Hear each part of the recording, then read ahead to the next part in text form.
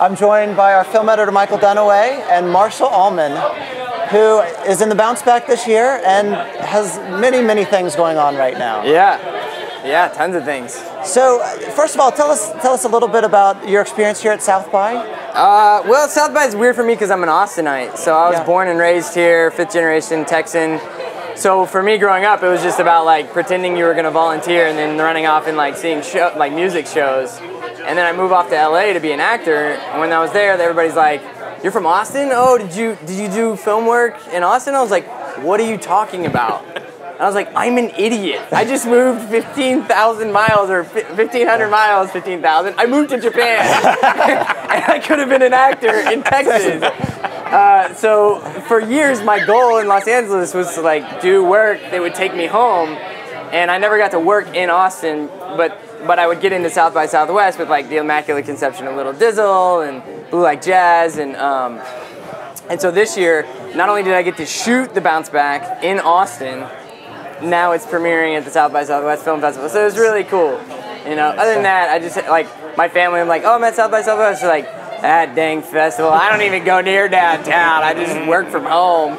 You know, so So you, go ahead. Now, have you had a screening yet of the bounce back? yeah, we premiered yesterday at two o'clock at the Paramount to a packed house. It was pretty Nice. sweet. Now, what was it like as an Austinite to go to the Paramount? Well, of course, Oh. that's where the Blue Like yeah, Jazz that's was where Blue as Like well. Jazz premiered. So, uh, man, it was. It's just still like so surreal to see your movie on the marquee and then look to the left to see the Capitol and be like, I wonder if that white albino squirrel is still at the Capitol lawn, you know, or like it's just it's a really to be embraced by my home city, you know, on any level, like see, like. Like the when Blue Like Jazz was here, my dad walked out to get the morning paper like he does every day, the Austin American Statesman, and it, it happened to be flipped just to the right page where he saw my name and my picture with Blue Like Jazz premiering. It like tripped him one. so crazy. And so like moments like that are like super special. And I'm you know, I'm obviously beaming and proud to be an Austinite. Well, you know you've been one of our favorites for a while. I mean, we love love you in Blue Like Jazz and in True Blood. And what what can we expect kind of in the future here? What, Um, well, obviously, the bounce back uh, is here now, and then I've got a movie, Jayne Mansfield's Car, Billy Bob Thornton directed, and got to act with Robert Duvall. I played his grandson in it, which was, I can't even tell you how awesome. this kid, this kid, I hope he's a better actor than he is a photographer. That's like my Duvall impression, because I was taking photos on set, and apparently I took the worst photo of Robert Duvall that's ever been taken, and he caught wind of it, and he was like, "This is the worst photograph I've ever seen." So I signed like on- I like titled the photograph the worst photograph of Robert Duvall ever taken, and signed them for my friends and stuff. Uh, no, that movie's coming out. It's really cool. Uh, really uh, awesome script. I love the movie. Um, love doing it. Working with Billy Bob was awesome. Um, so got that coming out, and then I'm doing um, kind of on a whim. I'm doing this documentary on uh, Foster the People. Their photographer Andy Barron. Mark Foster of Foster the People challenged him to lose 80 pounds in eight months, and if he did, he would give him twenty thousand dollars. And so I was one of the original documentarians of Foster the People when they came here and got that, like li- discovered little at South band, by. yeah, the little band that you were telling your friends about. And Yeah, then- exactly. Yeah, exactly. So they got like it was really cool because he was like, yeah, we got into South by Southwest like two months after they formed as a band. And they're like, and I was like, dude, do you have anybody to document it? And he was like, no. And I was like, I'm jumping in the van, bro.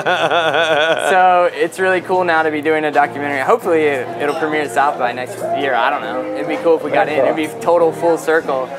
But yeah. And then uh, I know you also just recently wrapped on the most important production of your life so far. Is there anybody you want to give a direct a direct camera address to back at back at home? oh, are you talking about my wife A- and and my my children? absolutely, Yes, uh, absolutely. Yep, just had twins, which is pretty sweet. I'm like obsessed with taking photographs of them. Better than the Robert Duvall photo, though. Yeah, yeah. No, my yeah, my little twin was like, "You're the worst photographer I've ever seen." I was like, "Oh my god, that's the first words out of his mouth. This is incredible." I was like, Andy sounds like Robert Duvall. yeah, yeah, yeah. Even He's like better. a baby Robert Duvall. You're the worst photographer I've ever seen. I was like, dude, he's gonna be like the next Terrence Malick, like photographer, genius boy.